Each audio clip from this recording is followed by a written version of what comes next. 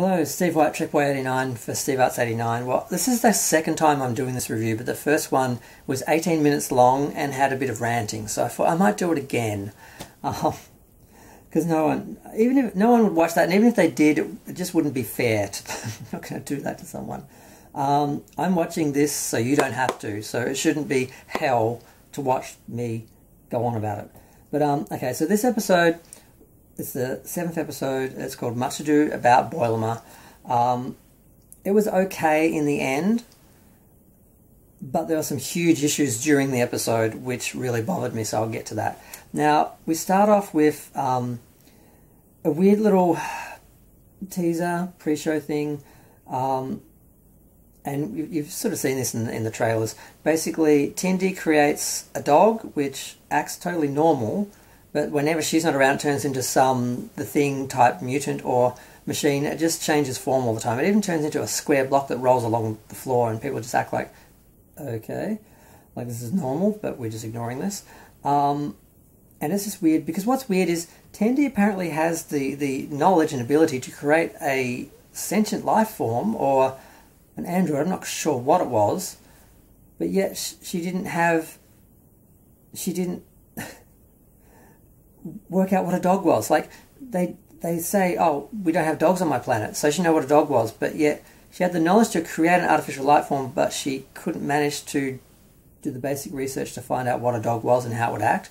So she thinks it's normal, and this is supposed to be the joke, and it's not really funny, and it's just stupid because there's no way someone could achieve all that, but yet not have the knowledge or, or, or the idea to actually work out how a dog should act. It's just stupid. So we get into the main part of the episode where um, the main story. Basically, the command crew, the Bajor- the, the scary Bajoran security officer, Commander Dude Bro, and um, the Admiral, not the Admiral, the husband's the Admiral, um, Mariner's mother, the captain, leave the ship. They've been recruited as some sort of um, elite force to. this is where it's sort of stupid and it's supposed to be funny, it's not. Um, they're basically finding or rescuing or transporting um, some seeds, which are apparently dangerous, or it doesn't make any sense. It's not funny. I don't know what that was. But um, so they're off the ship, and they bring on a babysitter captain, and of and of course Mariner's carrying on like I don't want a babysitter captain. They don't know what they're doing. But it's like Jellico. We'll get a Jellico, and like, why would this crew know anything about that situation with TNG? with the Enterprise from TNG. There's, there's, there, captains would take over for other captains on when they go for different missions all the time. This would be totally normal. It would happen a bunch of times. No crew would hear about what happened with the Jellico, Captain Jellico, and the Enterprise D. It makes no sense except to to make a reference which Star Star Trek fans are supposed to go, oh yeah, you watched episodes, you know, you know. Um, so that's stupid. Um, like Mecha Random does a great joke with this. She just goes through all the references and has a bell that dings every time. but um, this is the only big. There's a couple of references. This is the big one, just stupid. Um, so the, the the new captain comes on, and she knows Mariner. They went to um, um, Starfleet Academy together. So she immediately starts treating her like she has to be the best person on this crew. She's like, Ensign, what the hell? And she says, well, for now, while I'm here, you'll be the first first officer. So of course we have this Mary Sue sort of um, scenario where, of course, she's treated like the best thing ever, um, and she starts screwing up, and she screws everything up. And I'm like, yes, they're actually showing that officers actually have to work. They actually have to try to actually, you know, be good officers. And this person who deliberately tr- avoids responsibility, avoids regulations, just does everything she can to disrupt everything, which the, the Vulcan member of the crew, because a couple of crew members come over with the captain, and she's just ripping her and like, do you always disrupt missions? Like, is this what, what you do? Um, and I'm like, yes, they're actually showing that she's not a Mary Sue, she's not perfect, she, she is actually a screw up, and she may know more than the lower decks crew and may um, intimidate them or sort of insult them or sort of rule over them because she's had the most experience and everything. But when actually put in a situation of command with real trained, efficient um, Starfleet crew, she's she's a, she's a screw up, and I was really enjoying that part. But then it got bad because um, Rutherford was experimenting on making the transporter work quicker, and for some reason, Boimler volunteers to jump in, so beams him over. Yeah, it worked. It was quicker. Um, I, I don't really. I guess in emergencies, I don't know. Once you've got the pat, this is where stupidity comes in. Once you've got the pattern of the person, it doesn't matter how long it takes for them to actually be reformed, unmaterialized. So the beaming process, how long it takes, doesn't matter. It's irrelevant. So making a transporter that works a second quicker, goes a second quicker, doesn't change anything because it's stupid people who who think who don't understand the, the theoretical process of beaming think that that's going to make a difference in an emergency. So that sets up something later. Um, and of course, he beams him over fine, beams him back, and he ends up um, not fully materialized and constantly making the transporter sound really loud, louder than I guess it seems like they normally do.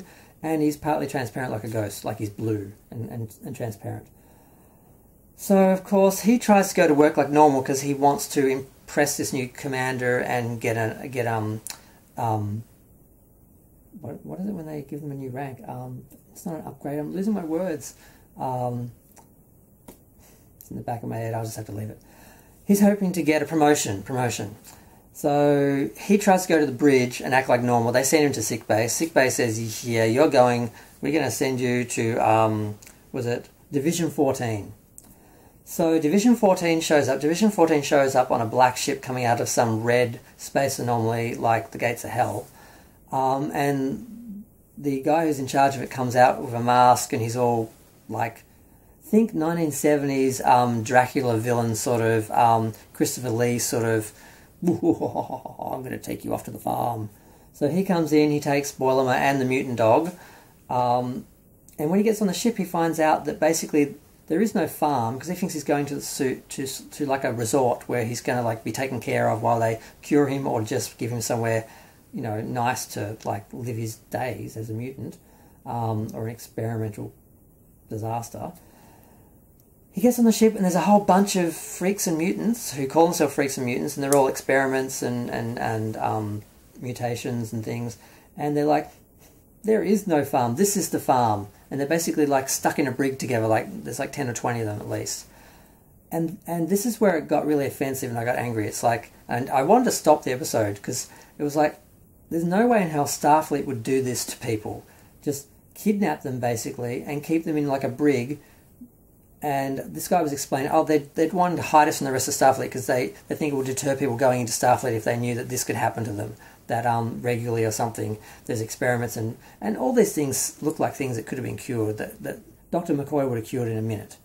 Um, so that was just offensive, and uh, goes and try, they're they're going to mutiny. They plan to mutiny, and Boimler is trying to fix the situation. So he goes to this captain, and instead of the captain trying to defuse the situation, he goes and basically threatens them all with a gun and locks them in um, their quarters. Although they are all stay in the same room, which doesn't make any sense, but was you know it's lower decks. And then they all turn on him because he dobbed on them. So they literally throw him out an airlock. Now, when he goes out the airlock. He ends up landing on the ground because they've landed at the farm, and and it is actually a beautiful resort where they are pampered and treated like um, royalty.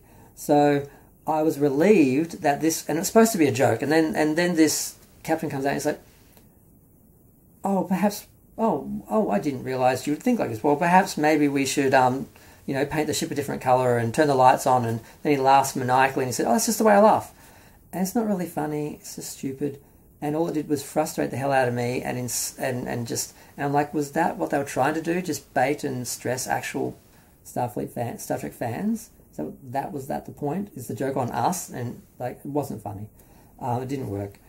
So then we get to the other part of the story because Boimler basically they set the dog free, and the dog can talk and stand and fly, and and then we get the joke that she you know didn't know what a dog was later in the episode, uh, she sees a real dog on the ship and it licks her, and she's like, "Oh my god, why would it do that? What what, what the hell is that?" And he's like, "That's what dogs do." And she's like, "Oh, really?" Because she didn't know what a dog was. Um, but yet she created one. So yeah. So we're back on the other ship because um, they have a mission where they have to rescue a crew. That the ship is dead, silent, that they don't know what's happened. They get on there, they find the crew, and they find the crew's hiding in a cargo bay with no power, no gravity, no anything, because there's some being on the ship that feeds on power. Now, unfortunately, the Vulcan officer didn't know that, so she sets the power up again, and then suddenly this creature just starts expanding out from inside all the all the ship, inside the walls, everything, and it's this green, white, hot sort of green light being tentacles and everything. It's actually an awesome alien. It's an awesome villain. It's a good monster. This could have been the whole episode, but instead, the whole time they have um, the, the, the babysitter captain and Mariner talking because she's realised that Mariner is just pretending to be useless because she doesn't want to get a promotion, and she admits, "Yes, I don't want a promotion." So instead of having this awesome adventure, basically, it's just in the background which kind of works when it's the, the, the, the bridge crew dealing with it. But she was on this mission, so they could have just had a really cool mission and didn't. So that was disappointing. Um, but it was still okay, but it was just not the center of what it could have been. So basically, and this is where it gets so incredibly stupid. Basically, um, they are stuck. They have to beam off the ship, um, and they call up Rutherford, and they're like, "Rutherford, we need you to beam us off because apparently the ship's about to blow up. So it's it's quick like like they they need the resolution to be quick, and because Rutherford has created a, a transporter that shaves like a second off the transport transportation process. um,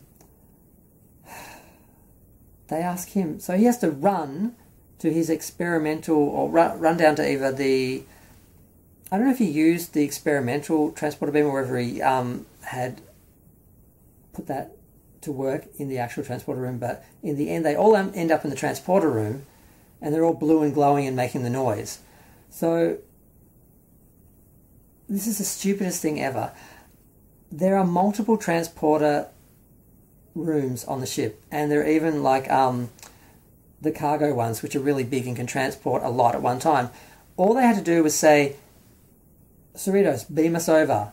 Use all the transporters because they're all manned and just beam them all over at once. And once they have their patterns on the ship, it doesn't matter how long, if the ship blows up while they're being transported, it doesn't matter, the pattern still arrives.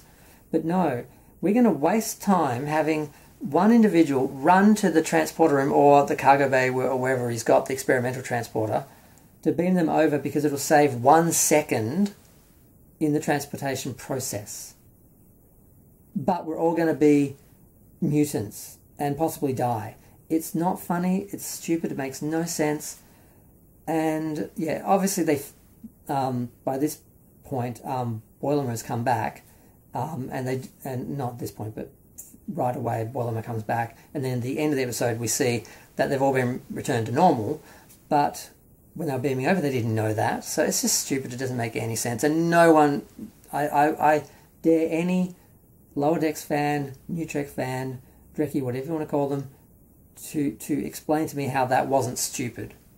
It's just stupid, and it wasn't funny. Uh, if it was really funny somehow, it might have been interesting, but it wasn't. You could, you know, sometimes you can let um, science, logic, um, facts go for good drama or good comedy or good horror. If, if it works, you can you can forgive it. But this this is, this is stupid. So we get to the very very end, and basically um, the babysitter captain offers Mariner first officer job. She's like, she's like, look, I. This is another good part. She said, look, I need to stay in lower decks till I work out what I want to do because I don't know what who I want to be.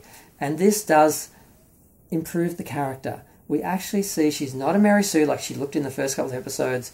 She did go into Starfleet. She did have these great parents. She went in. She was a good officer, but she just didn't like Starfleet. Didn't like the, the command, the, the responsibility, the command structure, anything like that.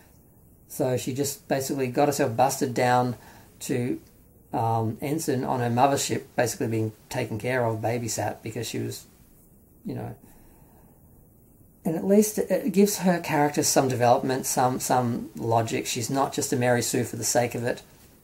But then we have this little not funny joke at the end where um, Commander Dude Bro is back on the ship and he hits on the new captain, of course, because he's like Captain Kirk. And he actually puts his hand on her shoulder when he's trying to ask her for a, drink or a date or something, and she flips him into the bar. Um, and then they basically walk off laughing, and he gives her the finger, like, "Yeah, you're awesome," and I'm like, the thumb, thumbs up, like you're awesome, and I'm like, do we really need to assault a guy um, just because he was a bit forward? I mean, all she had to do was swat his hand off and say, you know, go away, creep, or whatever. But no, it's it's funny. It's acceptable to assault a man, just like a Boimler is the running like white joke. It's like, with the exception of Rutherford, all the males are stupid stereotypes, overly aggressive, overly misogynistic, um, anxious, stupid, useless. They're, they're, they all have to be bad or stupid, and it's just a trope that's in this show and in New Trek, um, and it is getting tiresome. It serves no purpose. It doesn't, by default, make the women look any better, um, and yeah, I don't like it. So I'm going to stop now. It's 15 minutes. I, I, can't believe it took me that long to get through the episode, but um, yeah, so they did develop the character more, and they did sort of establish this earlier on, but I wasn't paying enough attention with um, with Mariner. She is actually not a Mary Sue, and I'm glad they did that with the character. They've I don't know whether they made it up afterwards or whether it was always the plan, but the first couple of episodes she just seemed like a Mary Sue, and I'm glad they did that. Um, they still are treating all the, the men like idiots. I would like them to change that because it just undermines some of the characters and undermines the show as a whole because um, it doesn't respect the male characters like it does the female characters. Um, and yeah, like just stupid writing, not funny. Um, but at least the story and the characterization was better structured than normal, and and minus a couple of really annoying elements, it wasn't as bad as the first couple of episodes. It is basically better now, but um, it's still there's just these these moments that just you can't escape how stupid they are, um, and it ruins the rest of the episode. But I'm going to go. I've talked way too long. Feel free to share, like, comment, subscribe. Let me know what you think. Thanks. Bye.